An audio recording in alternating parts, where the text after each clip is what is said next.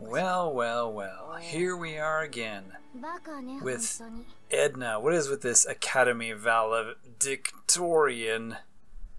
So, yeah, from our last episode, I thought I would just go ahead and include this one, where once again Edna just says Baka, not Academy Valedictorian. How in the world does Baka translate to Academy Valedictorian? I don't know. But yeah, lots of baka going on here, that's for sure. Welcome back, everybody, to Terrible, Terrible Translations.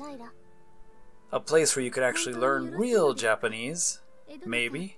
Or maybe not.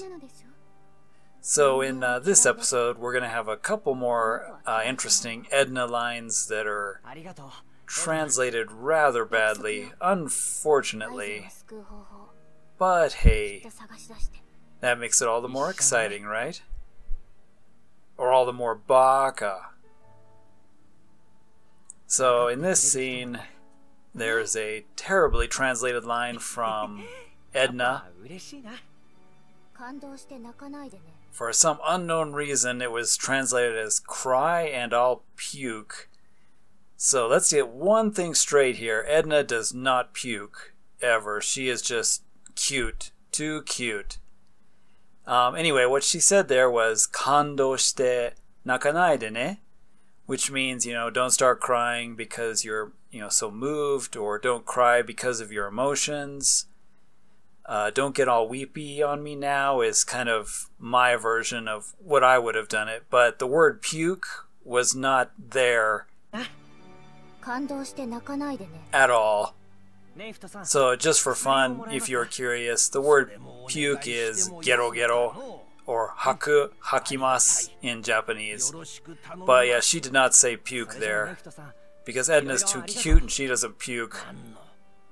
And what the heck is this?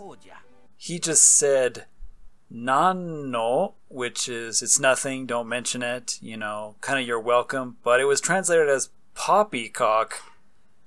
What the heck is poppycock? Well, nonsense. Rubbish. It comes from a Dutch immigrants to America, which means soft dung.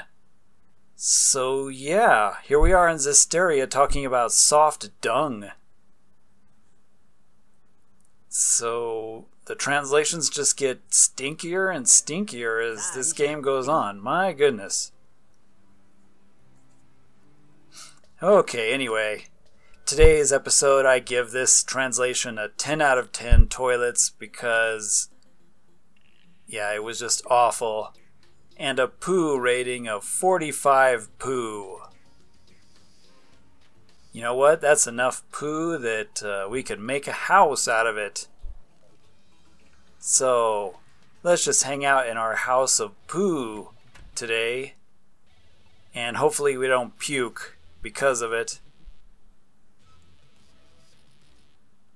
Yeah, after seeing this terrible translation, I think I'm gonna puke, that's for sure. Get me out of here. This place stinks.